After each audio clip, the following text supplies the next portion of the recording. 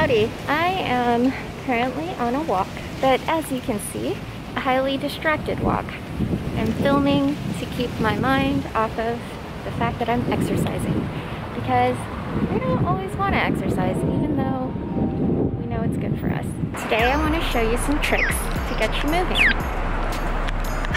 You know I take my exercise seriously because I wear my flippity floppies, aka my slippity sloppies.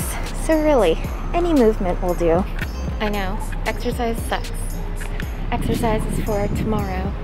Hot Cheetos con limon for today. Bubs is for today. I get it. But even a short jaunt like this, or heck, a voyage across your home and back a few times, that's enough to get your blood circulating, improve your memory, reduce your chances of a heart attack, stroke, or diabetes.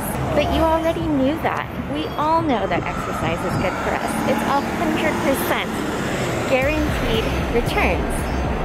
And yet we still don't do it. Why? At the core of exercise is really the ability to weigh short-term versus long-term benefits how willing are you to sacrifice a little bit today in order to feel better and think better tomorrow? How willing are you to sacrifice a little bit on a consistent basis in order to live better, to live longer? How unwilling are you to lead a life of lethargy, depression, victimhood? I know you can never judge a person by their cover, but every time I see a person go out on a walk or I know that somebody's exercising, hitting the gym, I feel really proud of them.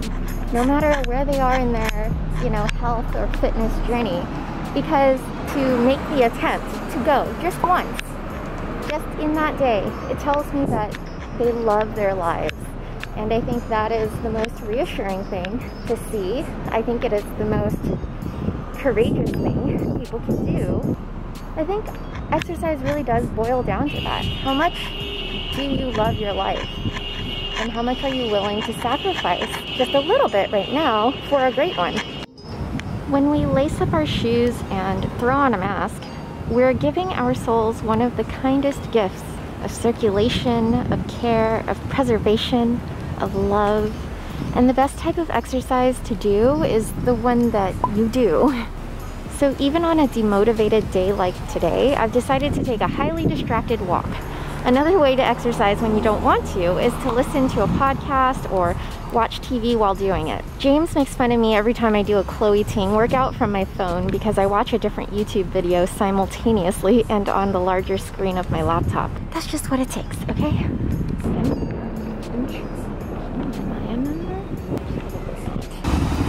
This is what my storefront look like. Just way too much pink, just enough pink. What do you know? It's the library. Having fun isn't hard when you've got a library card. Okay, we are back from our walk, and I have a lot more to say to you than just take a walk.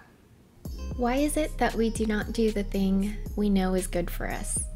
The reasons lie in powerful limiting beliefs that, if reconstructed, can become the very motivation we need to do the right thing. Acknowledge the power of the stories you tell yourself, reconstruct them, and see the change it manifests. Here's how to think about it. To exercise, we need to risk some short term pain to feel long term wellness. We all have a starting point on the spectrum of fulfillment or happiness if you start off at zero, you lead a mediocre life. Maybe work just pays the bills. Maybe your love life is, yeah, take it or leave it. Maybe your hobbies are becoming dull. I'd call that a zero life. From this point, you really don't want to plunge into the negative, so any decision to risk even short term pain feels daunting because even though life is not great, at least it's not bad, right? You want to avoid the negative zone at all costs because you have an aversion to pain. In another example, you start off in the negative. Work sucks. You can't sleep. You barely want to wake up. Your plants are dying, and so on. When you're already in the negative, there is less fear of pain itself because you're in it, um, but you still have an aversion to plummeting further into the pain. Why would you take any risks? Would the benefits ever restore you back to a positive life? These aren't highfalutin philosophical extremes. I see and hear these stories all the time. The zero lifer says, I'm not going to exercise because the last time I did it, it sucked. What's not being said is that they did not sustain that workout for long enough to see the benefits. Because they so fear the pain, they wince at a hint of it and quit.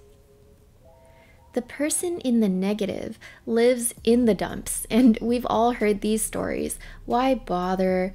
It's not worth it. It doesn't matter how hard I try, it won't work. You know, a few push ups won't be enough to get me fit, so there's no point. Well, you don't know unless you try, right? So I've outlined two types of limiting beliefs. Number one, the fear of pain itself or being in the negative. Number two, you might be in the negative, but you have an aversion to more pain, a fear of the direction going down.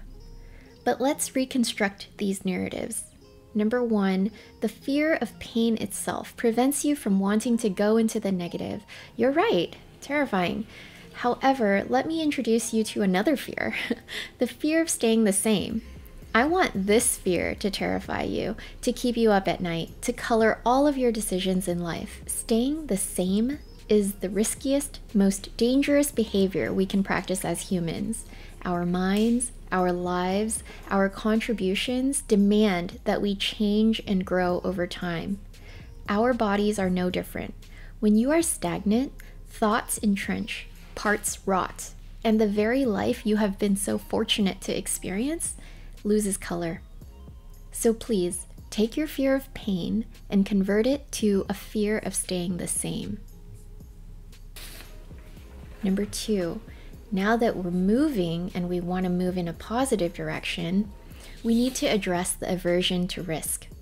A temporary downside that is so terrifying it prevents you from experiencing the greater upside.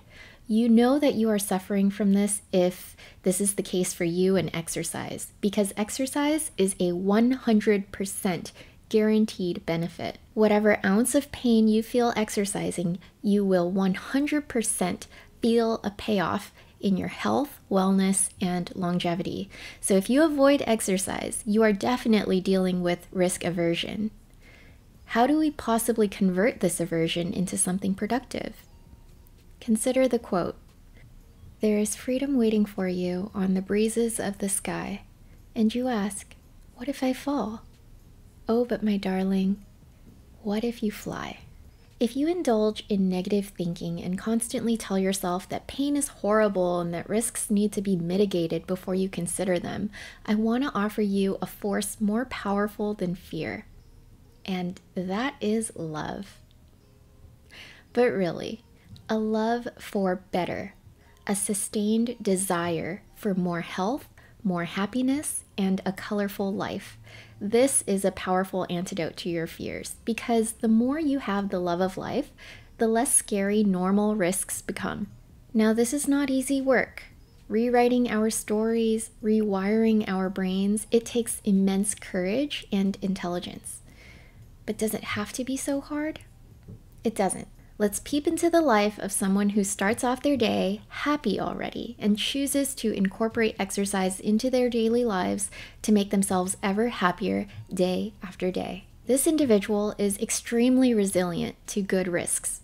They can afford to knock out 50 crunches or run a mile because when it sucks in the moment, they have positivity to spare and they know that the benefits will outweigh the short term costs. This individual gets to live like this, and every day, every year, they outdo themselves to reach new levels of fulfillment and peace. They have the fear of pain, the aversion to trending downward, but they also fear staying the same more than anything and love life enough to do something about it. When a positive person takes a dip, they land here for a moment in time. This area represents all that they are still positive about gratitude for life and breath, excitement about tomorrow, and a long list of things in life that are good. The most positive people know that the majority of that list is unearned. Things like having loved ones, their relative health, having civil rights, clean water, internet, good weather. It goes on. My third and last takeaway is that every day is a new beginning, but it quickly falls into the scripts of what you allow to persist in your mind. Change your mind, if even for a day, to see what will manifest. The difference between this person and this and this is largely in the mind. It is largely to do with gratitude. So, if you are not finding the motivation to work out, I challenge you to the most critical exercise in life to be grateful. Please take to heart anything in this video that sparks curiosity or challenge. These are survival signs, and you should heed it. I'm also in the three digit subscriber club now, so thank you all so much for subscribing to my videos and let me know down below what your three gratitudes are. I would love to read whether or not you feel motivated, you're working on it, or you are just high off of life because you are so grateful. The air is not so great. This year is one for the books. But I wish you all great health, happiness, and peace. We are still so much stronger than this. We have reserves of resilience we haven't even tapped yet. You're doing great and you are loved.